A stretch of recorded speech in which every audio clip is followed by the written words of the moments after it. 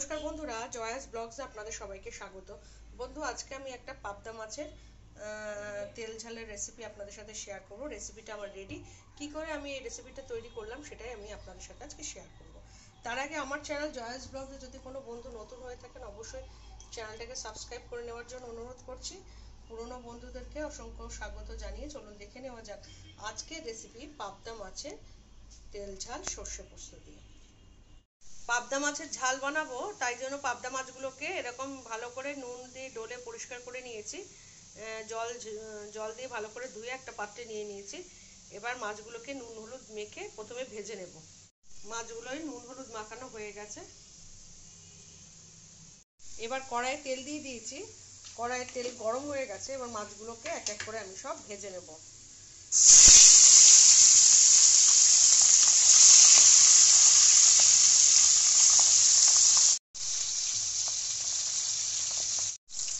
পাবদা মাছ খুব নরম তো? খুব মানে ধীরে মানে তেল ভালো করে গরম হলেই তবে মাছ দিতে হয়। নাহলে কিন্তু মাছ ভেঙে যাওয়ার সম্ভাবনা থাকে। মাছগুলো আমার সব ভাজা হয়ে গেছে।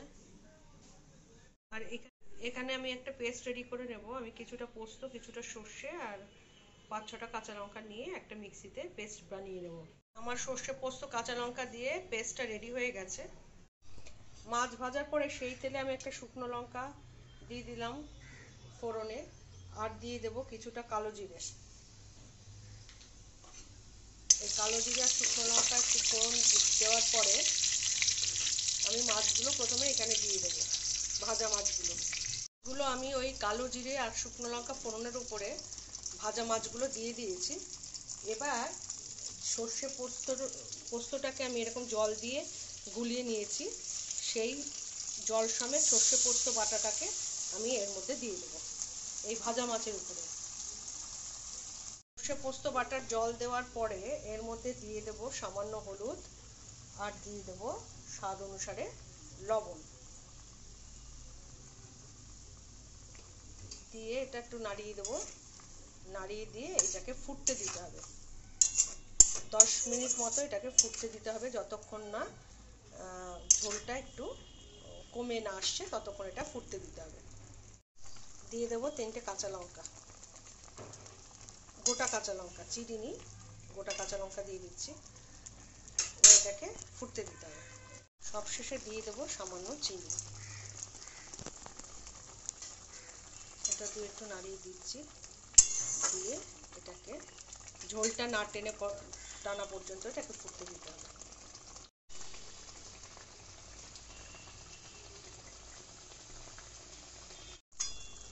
ঝোলে, ঝোল যেটুকু থাকার সেইটুকু হয়ে এসেছে। এবার এর মধ্যে আমি কুচনো ধনে পাতা দিয়ে দেবো।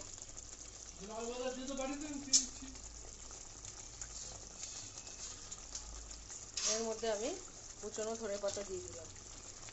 দিয়ে আর দু মিনিট ফোটার পরে আমি এটাকে নামিয়ে দেবো।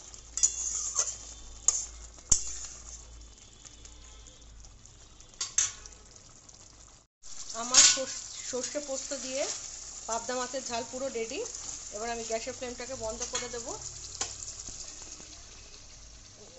উপরে তেল প্রায় উঠে এসছে। আমার মাছ মানে পাবদা মাছের ঝাল পুরো রেডি এবার গরম গরম ভাত দিয়ে সার্ভ করার পালা। যদি বন্ধুরা আমার এই রেসিপিটা ভালো লেগে থাকে, অবশ্যই একটা লাইক করে দেবেন এবং ভালো লাগলে বন্ধু বান্ধব রিলেটিভসদের মধ্যে শেয়ার করে দেবেন। আমার চ্যানেল জয়েস ব্লগসে যদি কোনো বন্ধু নতুন হয়ে থাকেন, অবশ্যই চ্যানেলটাকে সাবস্ক্রাইব করে নেওয়ার জন্য অনুরোধ করছি। পুরনো বন্ধুদেরকে অসংখ্য ধন্যবাদ জানাচ্ছি। এইভাবে আপনারা সাথে থাকবেন, পাশে থাকবেন। নমস্কার।